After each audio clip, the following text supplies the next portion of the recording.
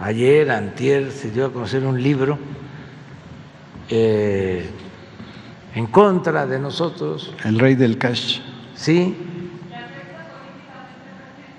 ¿Mande? No, no, no, no, no, no.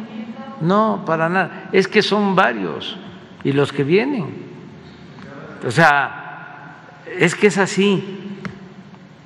Es un proceso de transformación, como ya lo expliqué, y esto, pues, afecta intereses creados y también este, eh, se sienten afectados en su pensamiento conservador.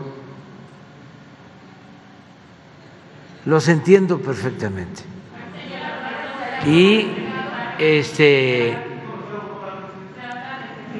y tienen este, toda la libertad para expresarse.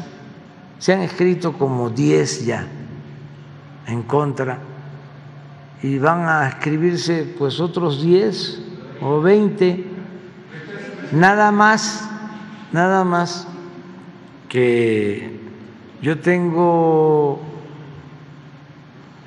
pues un escudo protector, que es mi honestidad. Que según lo había censurado, presidente, el libro. Mande. Que según había censurado el libro. afirma que Octavio Romero, el director de TEDx, por ejemplo, institucionalizó el monte para todos los trabajadores. Es que no, no tiene caso este, estar respondiendo si no hay ninguna prueba. Es un acto de libertad, aún eh, sin pruebas y de deshonestidad intelectual, entre otras cosas. Pero eh, así es esto y van a seguir porque no les ha resultado nada, nada. Tampoco afectaría, por ejemplo, a los aspirantes a las corcholatas porque se menciona Marcelo Ebrard, a Claudia Sheinbaum. Sí, pero no, no, van a, a recibir eh, más golpes y hay que eh, tener presente a dos poetas.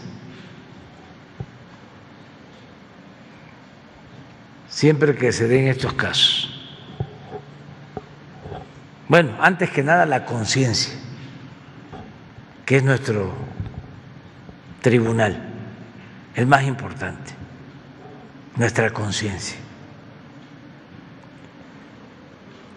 Y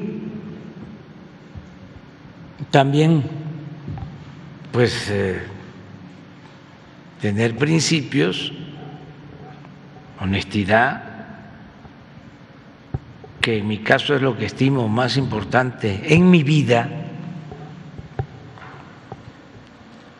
si no fuese honesto, ya me hubiesen destruido.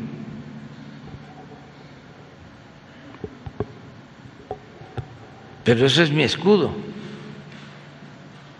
protector, mi ángel de la guarda. Bueno, mi ángel de la guarda es el pueblo, pero por lo mismo. Y decía Díaz Mirón,